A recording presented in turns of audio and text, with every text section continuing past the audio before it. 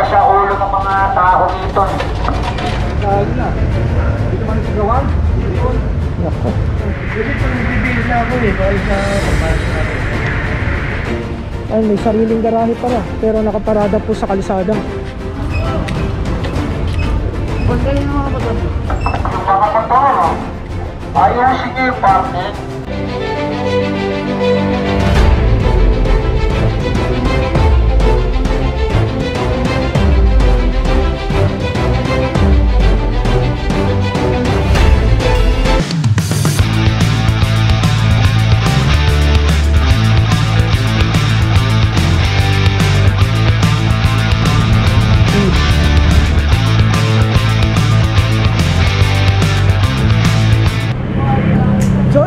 magandang umaga po sa inyong lahat mga kababayan ko. This is Kumar TV.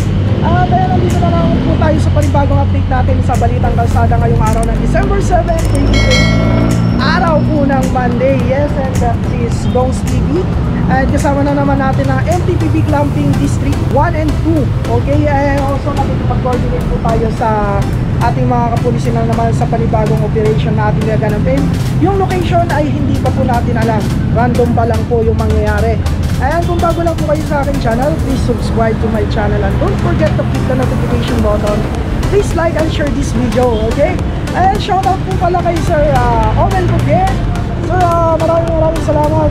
Kung gusto niyo lang po uh, mag-avail ng ating uh, MYOD t-shirt, please uh, contact MYOD official page, okay?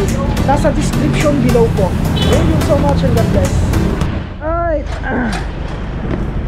Okay, so, panibagong update na naman po mga kababayan ko, December 7, 2020. Okay, ito po yung kanilang mugs o half cover, may mga gas-gas po.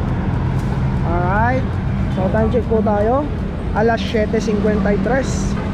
Lunes na lunes na naman po, Toyota Vios, nasa street corner pa at nakaparada po sa kalsada. Yan po yung mga kadahilanan kaya po na-clamp itong isang sasakyan. Kalsadang kalsada po, wag po tayong pamarada, wag po nating iwan kung wala tayong paradahan dito na sigurado. Unattended pa po yung sasakyan. Ano mag... Ngayon na, ano Oh, magalaw ah. Ah, okay. Malayo. Ayan, pinapakita po natin yung ah, kanilang paglalagay dahil ah, nagkakaroon po kasi ng mga reklamo about sa paglalagay ng clamp, nagkakaroon daw ng damage o gas-gas yung kanilang ah, mga hub, cover or mugs. And also shoutout sa ating uh, parak clothing ayan oh. Alright. Thank you para clothing. Alright, so ayan po, kasado na po yung ah, clamp para dito sa Toyota Vios, kulay itim. Location po natin, nandito tayo sa Tayuman Street. Alright.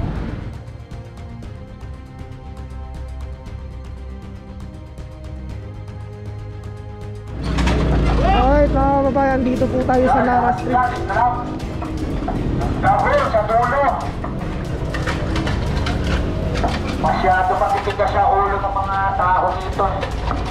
Alright, so ayan na po, ah, reklamo po at saka complain. Okay, pinapatupad po ng ating ah, MTPB kasama ng ating ah, mga pulis ng Crescento 7. Kung hindi tayo dumating, ah, hindi po nila alisin yung mga sasakyan na nasa kaliwat kanan.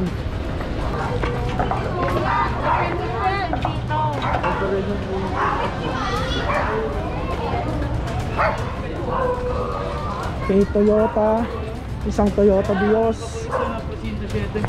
Okay, may tao po itong isa. Lahat po ng mga unattended yung siyang uh, malalagyan ng clamp. Toyota Banza. Ayan, clamp by Sir JR. Isang Toyota na naman, kulay asul. Okay, double check. Unattended. Baka makatakas sir.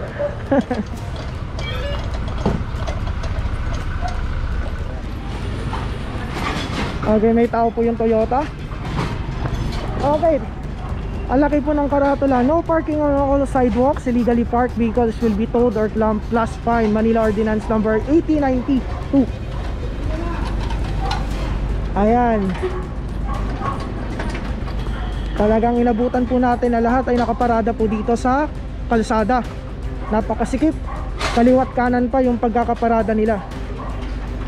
Ayan, yung pagkakalagay ng clamp, ah, ingat na ingat po sila sa paglalagay, okay? At also, ayan po, kahit nasabihin po natin na may goma po yan, malayo po yan, maluwag oh, hindi yan nakadikit. Ngayon also may goma rin yon. Okay, isang Honda, kulay puti. Santa Fe, may tao po. Ako, nakakali na. Ko man gawan. Nako. Nako. Kasi pang bibigyan na ako eh, para sa papasok natin. Para operation po tayo sa mga Nasuot ko kasi pares talaga ako, pares. Eh. Po tayo sa Katamanan. Alright, so makikita po natin may mga nakaparada pa rin. Tricycle at saka four wheels. Barangay 233, Zone 21. Okay. Kanan daw, kanan. Kanan. Katamanan na tayo. Isang Toyota Vios. From Nara Street. Pumunta po tayo ng, ah, nagsimula tayo ng ah, Nara Street. Ngayon ay nakarating po tayo dito sa Katamanan.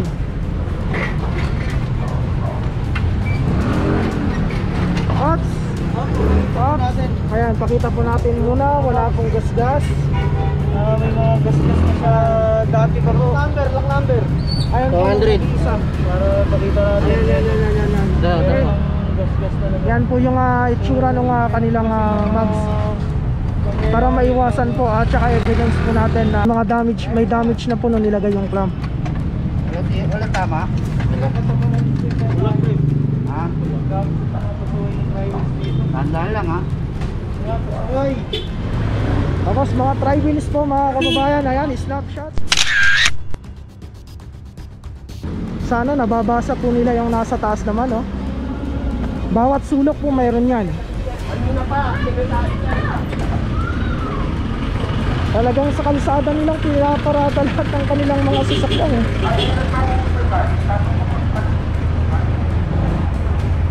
Ayan, naklamp din po, unattended, nasa kalsada. Isang Mazda CX-7 Woo! Huwag kayo ng mga motor. Okay, ayos na lang. Yung mga motor, ayusin niyo yung parking. Hindi na nga isinasampay.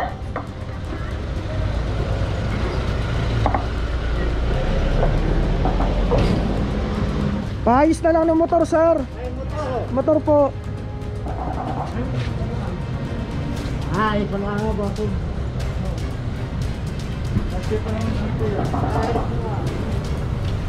Motor, pakidiretso-diretso nyo na lang yan. Pakabalikan namin yan. Sige, problema yan.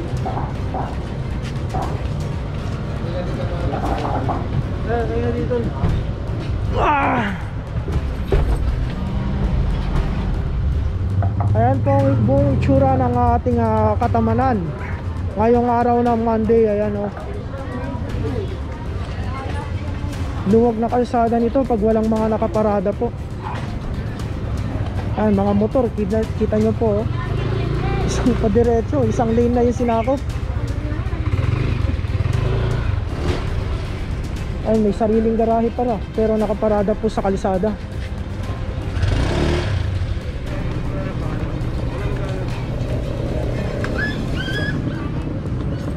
Kainan.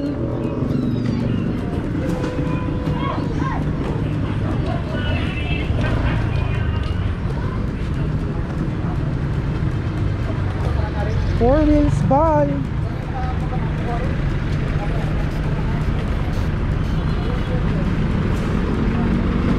At hanggang dito sa corner ng Yoseco Street. Ayan o.